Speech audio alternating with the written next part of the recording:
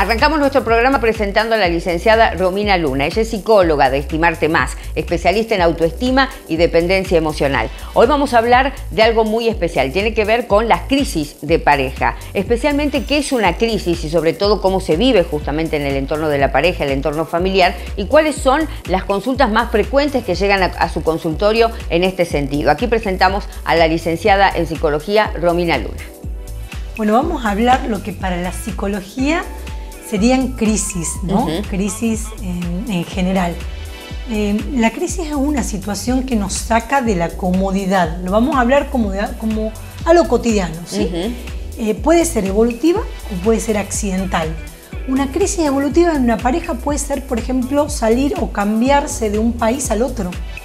O que a alguno de los miembros de la pareja le toque hacer una modificación en su área laboral o que esa persona quiera hacer una modificación en su vocación, o de repente un futbolista o un empresario tenga que retirarse del país, por ejemplo, para abrir otra, otra empresa o lo que fuera, y tenga que dejar un largo tiempo, por ejemplo, a su pareja o a su familia.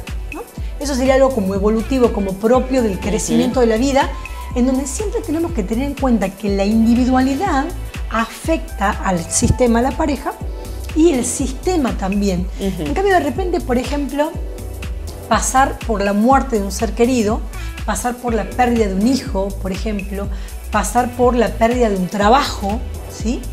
Eh, se entraría dentro de lo que es una crisis accidental en alguna de las partes de las parejas. Pero cuando la pareja atraviesa una crisis como, como esa unidad que es la pareja, ¿no? Lo importante es chequear cuáles son las creencias, cuáles son las ideas que cada uno ha formado en su vida en relación a una pareja.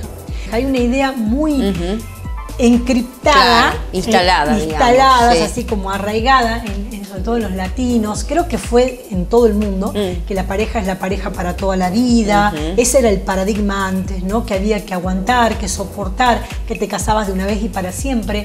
Y en esta época ese paradigma está tambaleando y está haciendo tambalear el sistema y ya no se adecua las creencias que teníamos sobre la pareja antes con las que hoy día son funcionales para esta nueva época.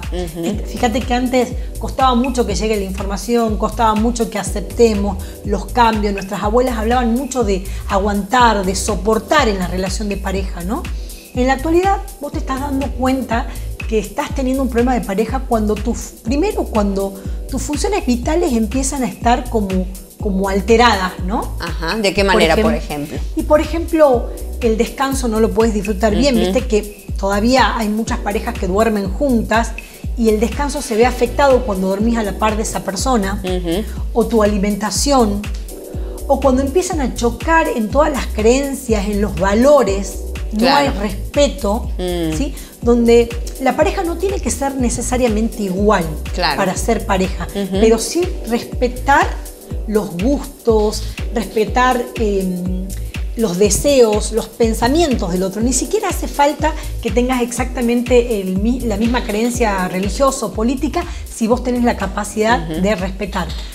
En la pareja, otro, otro, de los indicadores de que estás sufriendo un conflicto es em, la disminución de la actividad sexual. Bien. Por ejemplo. O la falta de admiración, la falta de respeto, la falta de conexión. ¿Viste cuando, cuando te mirás en los ojos del otro y es como si no reconocerías a esa persona? Empezás a darte cuenta que hay, y normalmente siempre hay uno, que es el que se da cuenta, que es el que pide, que es el que, empieza a reclamar. El que empieza a exigir. Sí, exigir, demandar, a veces a llorar, a veces a pedir de muchas formas y el otro a veces está sordo ante las emociones mm. o ciego ante la necesidad de la pareja. Claro. Entonces la pareja puede entrar en un círculo de destrucción o en un círculo de, reanimación o de reconstrucción y transformación. Claro, eso te iba a preguntar. ¿Qué hace la, la pareja cuando dice, bueno, estamos pasando por esto, por una crisis? Eh, ¿En qué momento es lo que se recomienda decir, bueno, podemos consultar a un profesional y podemos salvar esto? Tenemos que estar como muy conscientes de nosotros mismos y de nuestro cuerpo, primero, porque el cuerpo te empieza a decir cosas en relación a la pareja. tomar conciencia de cómo está tu cuerpo a la par de esa persona, cómo están tus emociones, cómo te sentís cuando estás con esa persona. Y después es identificar cuáles son las áreas que están mal. Decir, ok, ¿cómo está mi descanso? ¿Cómo está mi alimentación? ¿Mi actividad física? ¿Mi rendimiento laboral? ¿Cómo está mi vida social? ¿Sí?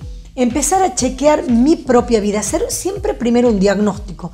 Después que vos haces ese diagnóstico personal, empezás a chequear cómo eso individual está afectando a la relación de pareja. El estrés individual y el estrés económico o el estrés por una enfermedad que tiene que atravesar alguna de las partes de la pareja o por las pérdidas puede hacer que absolutamente cualquier conflicto de la pareja se exacerbe. La pareja es un espacio que elegimos consciente y voluntariamente. Entonces, cuando vos chequeás y decís, ok, estamos siendo muy afectados en la comunicación, no hay tiempo de pareja, no hay buen diálogo, no hay una empatía, una compasión el uno por el otro, la frecuencia sexual ha disminuido un montón, la conexión emocional, esa conexión que va más allá de lo sexual, ha disminuido mucho. Es decir, si te importa ese vínculo, inmediatamente lo primero que tendríamos que hacer es sentarnos y planificar porque el ritmo de vida actual, la modernidad, nos lleva a que siempre la pareja queda al último, ¿no? Porque primero está el trabajo, cumplir todas las obligaciones, las responsabilidades, los hijos. Entonces, sentate y planifica con agenda, ok, todos los jueves a las 6 de la tarde vamos a ir a tomar un café solos. Y una vez al mes, salida de pareja, uno o dos días solo para la pareja. Mm. Empezar a crear espacios de reencuentro. Y ese es un tips. Sí. Y el otro tips es sentarnos a hablar por lo menos una vez por semana, lejos de la casa. Lo mismo que yo recomiendo con, los adolescentes o cuando hay conflictos económicos o cuando hay cualquier conflicto que haya en la familia y en la pareja o con los hijos, salir a hablarlo fuera de la casa. Bien. Fuera. Y empezar siempre preguntando con cómo te sentís. Entonces yo siempre recomiendo que estas salidas semanales donde cada uno pueda descargar y decir, yo me siento así en relación a esto de la pareja. Y otra cosa muy importante es saber que la pareja no es tu terapeuta. ¿sí? Este, estos son pasos previos, chicos, antes de tener que llegar al terapeuta. Entonces, decir, con, tu pareja puedes hablar cosas de la pareja y cosas de la familia, pero no es que le vas a ir, le vas a tirar todo el fardo de toda la carga de tu vida, de tu trabajo, de tus amigos, de tus colegas, de esto, de lo otro. No, no es tu terapeuta. Tenés que aprender a gestionar tus emociones. Si no puedes solo, busca una ayuda profesional y tener tu espacio. Entonces, estos son pasos previos.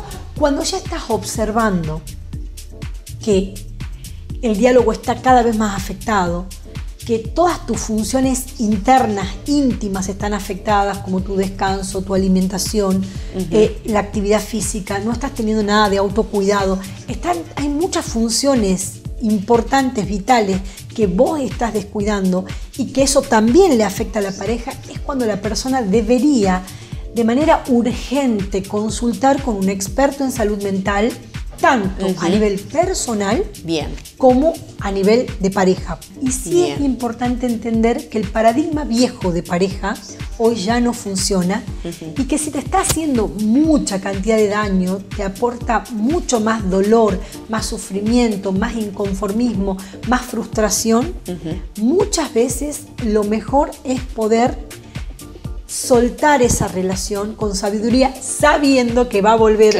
otra con características muy parecidas si es que vos no sanás. Porque al final de cuentas, la relación de pareja es una relación que viene para ayudarnos a amar y a sanar. Perfecto, hermoso mensaje. Muchísimas gracias, Romy, como gracias siempre. Gracias, también. Muy amable.